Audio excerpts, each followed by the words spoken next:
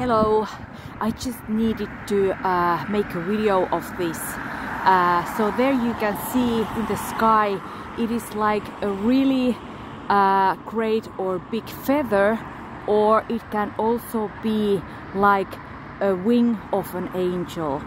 And uh, it is so large and it goes like over all the heaven there so the protection of God is so great, so big. Ää, joo, moi kaikki. Mun piti tehdä video, koska tota, tää on ihan uskomaton, kun taivaalla on tällainen ihana pilvimuodostelma. Toi on niinku valtavan suuri höyhen tai valtavan suuri enkelin siipi, joka kattaa näin suuren alueen.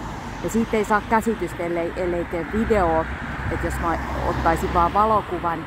Ja, ja Jumalan suojelus ikään kuin se kattaa näin suuren alueen Tän vaan halusin jakaa tosiaan teidän kanssa, niin olkaa siunatut. May God bless you.